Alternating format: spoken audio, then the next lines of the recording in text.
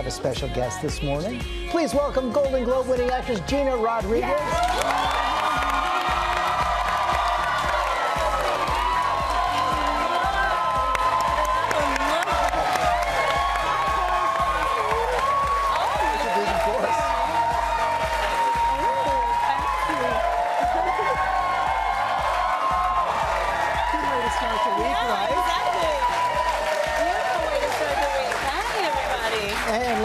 start us out with something that was introduced to me by my daughter Harper over the weekend. She was poring over what looked like hieroglyphics. I said, "What are you looking at?" I, it was, I heard about it all weekend long. I called into the producers. I said, we have to talk about this. This is breaking news. So do you guys believe in astrology? Does anybody believe in their sign? Gina, do you I'm believe, not happy are, you, are you a Leo? I'm a Leo. I'm a lion, but Well, I no hold longer horses. Hold your lion. Oh. something has happened. NASA has declared that there are not 12 but 13 astrological signs. I know. Apparently, there uh, there always have been 13 signs. It's just that the Babylonians, 30,000 years ago, when they were building the calendar, you know, 12 seemed neater, so they left one out. 3,000 3,000 years ago, this happened. NASA says they have they're not doing anything about this. They just did the math, and then also that the sun and the way it's uh, the access. Uh, it's spinning a little bit differently, so uh, so they made some changes. You don't have to follow it. we went just far enough right there. That's There you plenty go. of That's right. explanation. Yes, yes. Uh, the 13th sign is called Ophiuchus. And what it means is that your sign may be changed. So, Gina, you're our guest. I'm gonna, I'm gonna do you first. Uh, you are. Your birthday is what? July 30th. July 30th. So you all, your whole life you've been a Leo. Leo. No, sorry, honey. I'm a crab. You are now a crab. You're I'm, a Cancer. I'm hard on the outside, But soft on the a- inside. I think it's true, though. Yeah. So you have no choice. I have- I I, have am really news for you, upset. I, have. I did not like this news. I think- George, George is no longer. He was. He thought he was all light and fabulous. He's an Aquarius. You are now a Capricorn. right. And, And, and you are. yeah, I'm like, yeah. Not happy about it. But I will say the good news, though, in all of this is you do get to adopt the positive characteristic Exactly. traits of your new sign. So I was a Libra, now I'm a Virgo, which apparently are intelligent and modest, which I may not have been before. nice one,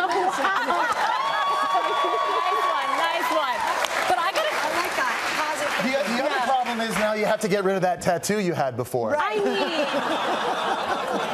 Oh, you had that big one across your back. Yeah, that's right. Yeah, that Libra, that, that those scales I had. You're Yeah. gonna have to. I'm, I'm upset about this though. I am too. Because I, I'm gonna, I don't, I'm a little loath to admit it, but I read my horoscope every morning. You I still feel read like it? it's I'm so into me. it. I, I read I mine do. every day, I I mean, that's a conversation of identity, how we like Right. start to identify I'm an Aquarius. I am not a Capricorn. Well, then you keep on believing, girl. Well, wait, it doesn't. I know you read it every morning, but that.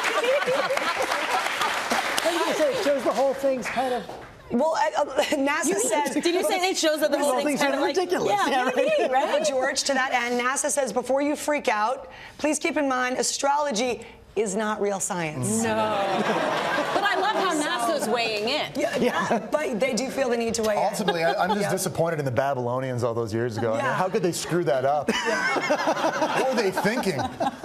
They were trying to be neat. Yeah, There you yeah. go. Okay, so since you've now slammed the Babylonians, we can move on to a more inspiring story. That's right. We have a very inspiring this morning. Tammy Ray, McRae works at Carver Elementary School in the cafeteria. She lost over 100 pounds by simply eating the food she serves her students for breakfast and lunch. So Tammy's joining us this morning. I'm from Baytown, Texas. Good morning, Tammy. Congratulations. You look awesome. Tell what made you decide Thank you to so push. much. That's so nice of you to Aw, say. she's loving the applause. Well, tell us what made you push for the change in your life. Well, I was 260 pounds and I got a job as a nutrition manager, but then I realized I wasn't very nutritious. So I decided to make a change, start being a part of my own life. And that's what made me want to lose the weight for my kids that I had to inspire to eat better. I thought, well, let me join them. I love it, and you did it so successfully, losing over better 100 habits. pounds. Now, was the only thing you did was to eat the food you serve your students? Did you make any other changes in your life? Nope, I just stuck to the menu at our school. Wow. And so, Tammy, I want to ask you, how has this weight loss, how has this nutrition change changed your life? Well, I am now part of my own life. I go fishing, I mow my own lawn. And I just say for anyone else out there that's thinking of making a change, go for it. Yeah. Be a part of your own life. Well, congratulations, Tammy. You look fantastic, and thanks for inspiring us all this Well, nutritional food at the school. And, and Gina, you've recently spoken out against photoshopping. Uh, yeah, I mean, uh, speaking out against it or just having a conversation about it, I, you know, I think that the amazing supporters of my show and that have been a part of my career journey, they they look at these un, you know, unrealistic expectations, and I think that we're bombarded by images that constantly remind us that we're not worthy enough, not you know, skinny enough, or tall enough, or dark enough, or light enough, or whatever it may be. That um, we're, artists are kind of contributing to that by not standing up for the fact that they can't be themselves when presenting themselves. And I think art is about relating to human life. And if you're not living it, then it's really difficult to relate to it.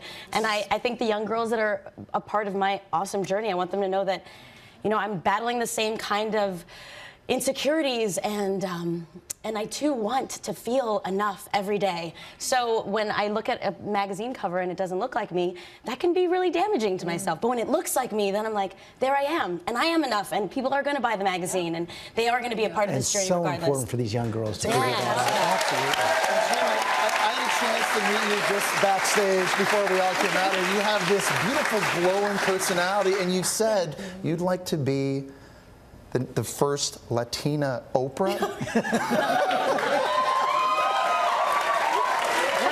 Which I can kind of see. Can, can you give us your best Oprah impersonation? Oh yeah, I love bread. yes, I do. Yes, I do. No, I'm kidding. I mean, I, I think what's beautiful about Oprah, not only does she inspire everyone across the board.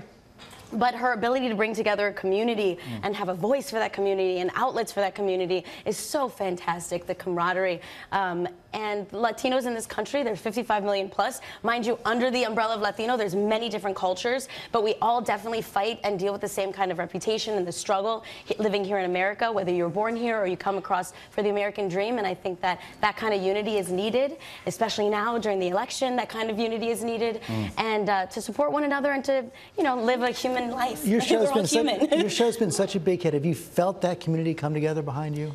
Oh, for sure. I definitely. But it, what's beautiful about Jane is that I feel the love from every community, and I could not be more grateful for that. Mm. Because at the end of the day, we all want the same things. We want love and happiness and Yeah. success, and really, our skin color only defines how much pigment we have. It does not define anything Yeah. else. And you we are are not- all human.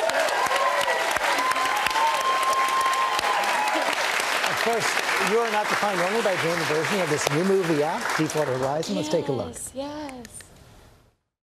Original V8 or crate motor? Original. Original. Let's go. You know, we might need to rebuild it. Look at me. Aim up higher, and we can jump up further. Okay? We're gonna jump over the fire. Can't. Trust me.